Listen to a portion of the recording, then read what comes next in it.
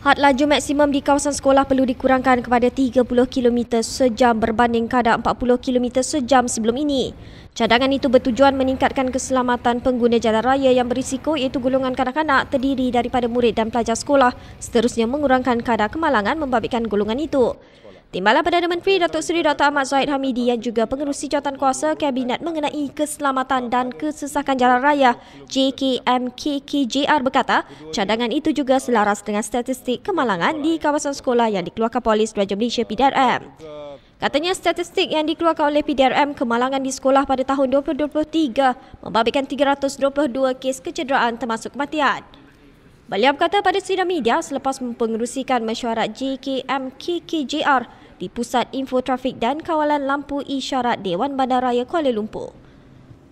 Perkara yang kedua adalah mengenai had laju di kawasan sekolah ya.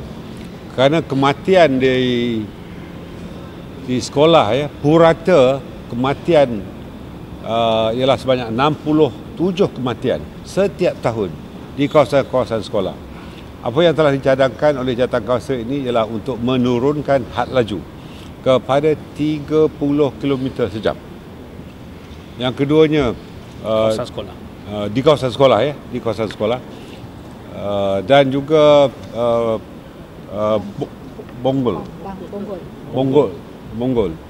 Uh, di disediakan ya tanpa uh, melibatkan peruntukan tambahan daripada mana-mana kementerian tetapi uh, pihak PBT dan pihak uh, sekolah uh, boleh bekerjasama untuk uh, melakukannya. Ya.